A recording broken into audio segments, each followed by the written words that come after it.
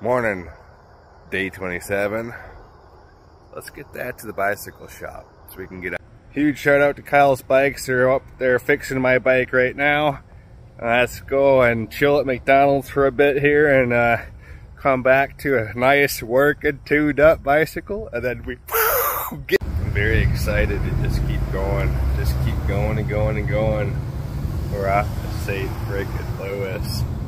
Last time I went through there was a truck driver.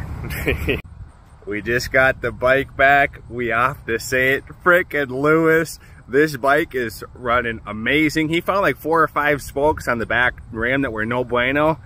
So he was nice and he went and replaced those. They got everything lubed up. It's pedaling so good. I'm so happy. It's going to be a banger of a ride all the way out to Iowa City and then down to St. Louis. It's mostly flat. We're going to be balling. Let's go.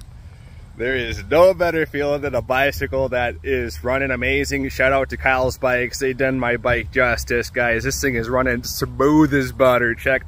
They went and fixed the back rim there. It had a whole bunch of broken spokes on it. Normally I just get a new rim, but they went and did the spokes. And uh, they lubed everything up. They hooked me up with a water bottle on the house. I mean, a water bottle holder that was completely on them for free. Uh, very, very grateful for that. This thing is sweet. You just uh, twist this to untie it, then you twist it again, it tightens back up. So it's a really sweet setup. All right, guys, we are done. Des Moines is done. Next up, St. Louis.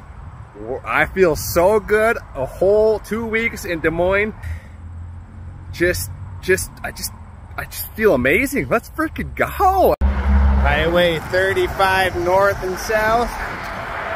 There's good old Minneapolis. We out of here. We going to, we ain't going to Minneapolis. We're going to Missouri. Oh, it feels good to be back on the road. Let's frickin' go! I'm not really sure how far outside the cities we are, but we're gonna have some ramen.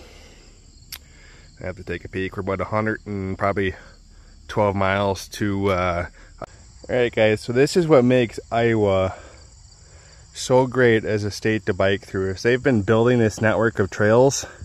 They've got detailed signs. They've got, uh, you can call this number and it's literally going to tell you about the path and the trail and everything else. And then they've got fix-it stations with benches everywhere. And that's just what makes Iowa's trail network so interesting and so fascinating. They've put a lot of thought and detail into their trail.